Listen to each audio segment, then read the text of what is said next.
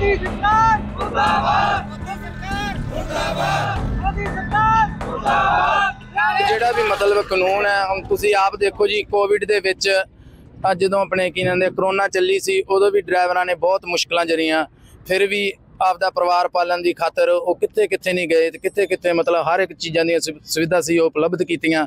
ਤੇ ਹੁਣ 7000 ਰੁਪਇਆ ਤਨਖਾਹ ਹੈ, ਜੇ 7 7 ਲੱਖ ਰੁਪਇਆ ਜੁਰਮਾਨਾ ਕੀਤਾ ਹੋਇਆ, ਜੇ 7 ਲੱਖ ਹੀ ਡਰਾਈਵਰ ਦੇ ਕੋਲੇ ਹੋਵੇ ਤੇ ਫਿਰ ਉਹ ਆਪਦਾ ਕੋਈ ਬਿਜ਼ਨਸ ਨਾ ਕਰ ਲੇ, ਉਹ ਕੀ ਕਰੂਗਾ ਜੀ ਦੱਸੋ? ਜਿਵੇਂ ਵੱਡੇ ਸਾਡੇ ਬੈਠੇ ਆ, ਸਰਦਾਰ ਇੰਦਰਜੀਤ ਸਿੰਘ ਜੀ, ਵੱਡੇ ਪੱਧਰ ਤੇ ਜੋ ਵੀ ਸੰਘਰਸ਼ ਹੋਊਗਾ, ਅਸੀਂ ਉਹਦੇ ਵਿੱਚ ਵੀ ਸ਼ਾਮਲ ਹੋਵਾਂਗੇ ਜੀ। ਮੈਂ ਇੰਦਰਜੀਤ ਸਿੰਘ ਹੈ ਜੀ, ਜਨ ਸੇਵਾ ਡਰਾਈਵਰ ਪਾਰਟੀ ਤੋਂ ਪੰਜਾਬ ਪ੍ਰੈਜ਼ੀਡੈਂਟ ਹੈ ਜੀ।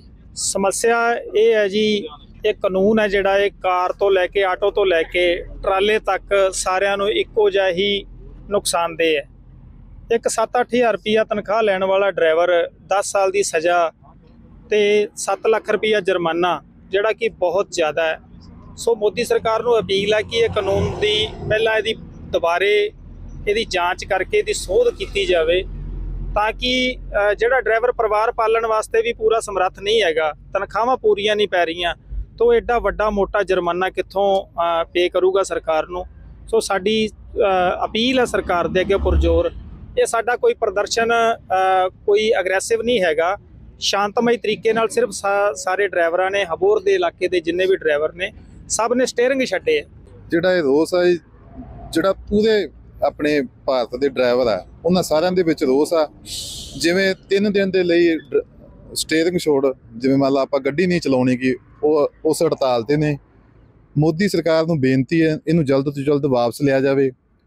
ਜੇ ਇਹ ਮੋਦੀ ਸਰਕਾਰ ਇਸ ਕਾਨੂੰਨ ਨੂੰ ਵਾਪਸ ਨਹੀਂ ਲੈਂਦੀ ਤਾਂ ਜਿਵੇਂ ਕਿਸਾਨੀ ਅੰਦੋਲਨ ਦੇ ਉੱਤੇ ਵੱਡਾ ਸੰਘਰਸ਼ ਕੀਤਾ ਗਿਆ ਸੀ ਇਹ ਦਿਨ ਪਰ ਦਿਨ ਰੋਸ ਵੱਧਦਾ ਜਾਏਗਾ ਇਹ ਸੰਘਰਸ਼ ਵੱਡਾ ਕੀਤਾ ਜਾਵੇਗਾ। ਮੋਦੀ ਸਰਕਾਰ ਮੁਰਦਾਬਾਦ! ਮੋਦੀ ਸਰਕਾਰ ਮੁਰਦਾਬਾਦ! ਮੋਦੀ ਸਰਕਾਰ ਮੁਰਦਾਬਾਦ ਜਿਹੜਾ ਵੀ ਮਤਲਬ ਕਾਨੂੰਨ ਹੈ ਹੁਣ ਤੁਸੀਂ ਆਪ ਦੇਖੋ ਜੀ ਕੋਵਿਡ ਦੇ ਵਿੱਚ ਜਦੋਂ ਆਪਣੇ ਕੀ ਕਹਿੰਦੇ ਕਰੋਨਾ ਚੱਲੀ ਸੀ ਉਦੋਂ ਵੀ ਡਰਾਈਵਰਾਂ ਨੇ ਬਹੁਤ ਮੁਸ਼ਕਲਾਂ ਜਰੀਆਂ ਫਿਰ ਵੀ ਆਪਦਾ ਪਰਿਵਾਰ ਪਾਲਣ ਦੀ ਖਾਤਰ ਉਹ ਕਿੱਥੇ ਕਿੱਥੇ ਨਹੀਂ ਗਏ ਤੇ ਕਿੱਥੇ ਕਿੱਥੇ ਮਤਲਬ ਹਰ ਇੱਕ ਚੀਜ਼ਾਂ ਦੀਆਂ ਸੁਵਿਧਾ ਸੀ, ਉਹ ਉਪਲਬਧ ਕੀਤੀਆਂ।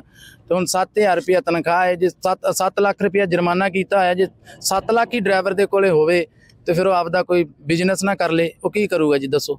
ਜਿਵੇਂ ਵੱਡੇ ਸਾਡੇ ਬੈਠੇ ਆ, ਸਰਦਾਰ ਇੰਦਰਜੀਤ ਸਿੰਘ ਜੀ, ਵੱਡੇ ਪੱਧਰ ਤੇ ਜੋ ਵੀ ਸੰਘਰਸ਼ ਹੋਊਗਾ, ਅਸੀਂ ਉਹਦੇ ਵਿੱਚ ਵੀ ਸ਼ਾਮਲ ਹੋਵਾਂਗੇ ਜੀ। ਮੈਂ ਇੰਦਰਜੀਤ ਸਿੰਘ ਹੈ ਜੀ, ਜਨ ਸੇਵਾ ਡਰਾਈਵਰ ਪਾਰਟੀ ਤੋਂ ਪੰਜਾਬ ਪ੍ਰੈਜ਼ੀਡੈਂਟ ਹੈ ਜੀ। ਸਮੱਸਿਆ ਇਹ ਹੈ ਜੀ ਇਹ ਕਾਨੂੰਨ ਹੈ ਜਿਹੜਾ ਇਹ ਕਾਰ ਤੋਂ ਲੈ ਕੇ ਆਟੋ ਤੋਂ ਲੈ ਕੇ ਟਰਾਲੇ ਤੱਕ ਸਾਰਿਆਂ ਨੂੰ ਇੱਕੋ ਜਿਹਾ ਹੀ ਨੁਕਸਾਨਦੇਹ ਹੈ।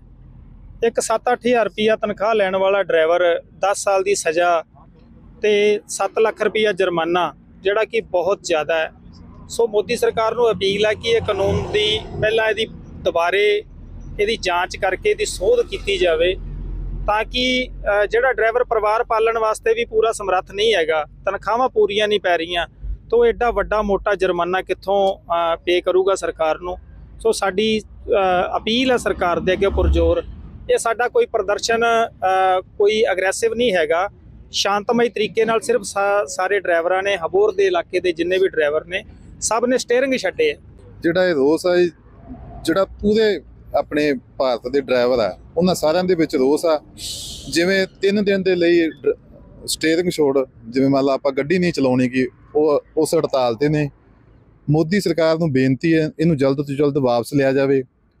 ਜੇ ਇਹ ਮੋਦੀ ਸਰਕਾਰ ਇਸ ਕਾਨੂੰਨ ਨੂੰ ਵਾਪਸ ਨਹੀਂ ਲੈਂਦੀ, ਤਾਂ ਜਿਵੇਂ ਕਿਸਾਨੀ ਅੰਦੋਲਨ ਦੇ ਉੱਤੇ ਵੱਡਾ ਸੰਘਰਸ਼ ਕੀਤਾ ਗਿਆ ਸੀ, ਇਹ ਦਿਨ ਪਰ ਦਿਨ ਰੋਸ ਵੱਧਦਾ ਜਾਏਗਾ, ਇਹ ਸੰਘਰਸ਼ ਵੱਡਾ ਕੀਤਾ ਜਾਵੇਗਾ।